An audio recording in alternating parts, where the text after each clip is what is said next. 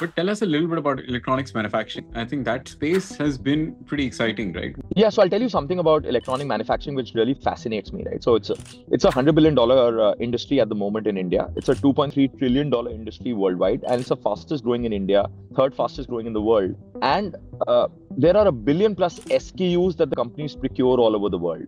And the design changes are every six months for the components and the finished products combined. So it's a very, very interesting space. Uh, so this is one. And second, the geopolitical issues that are essentially there, right? With with the Trump tariffs, with the China rare earth materials, with everyone trying to become quote unquote Atmanirbhar uh, or self-reliant, um, with the with the wars that are going on. So so there is a lot of uh, uh, activity which is going on in this particular space. And electronics, you know, it goes into defense, it goes into consumer electronics, it goes into automobiles, uh, and you know, you you stop one component, uh, then uh, the entire supply chain stops. So that is what really fascinated me about this particular supply chain. You know, and uh, we're trying to solve uh, uh, the entire supply chain issues how the procurement can be done uh, what is the potential for manufacturing within india? Can we figure out uh, uh, pools or can we figure out certain components that we can manufacture in india help companies buy better?